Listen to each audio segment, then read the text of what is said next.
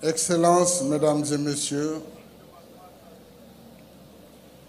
je voudrais vous inviter tout à l'heure à observer avec moi une minute de prière à la mémoire de nos trois reporters arrachés à notre affection ce jour sur le trajet de Kédougou.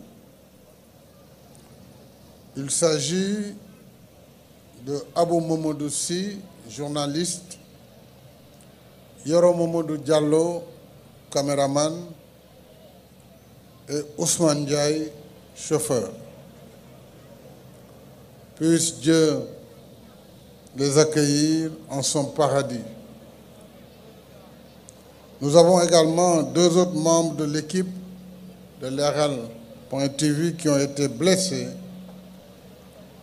et nous avons dépêché un avion de l'armée nationale qui va décoller à 22h30 de Tambacounda pour les rapatrier à Dakar, où ils seront admis à l'hôpital principal et toutes les équipes les attendent, ainsi qu'une équipe du SAMU qui a embarqué dans l'avion. Il s'agit de deux personnes, membres de l'équipe également, qui présentement sont des, sont blessés. Nous prions pour leur prompt rétablissement et je demande à présent à l'assistant de se lever pour observer une minute de silence ou de prière pour la mémoire des disparus.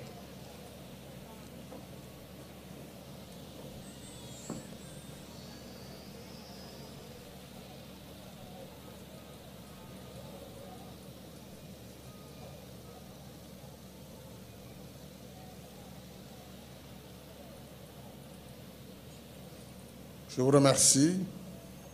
Je saisis l'occasion pour présenter mes condoléances aux familles des victimes, à M.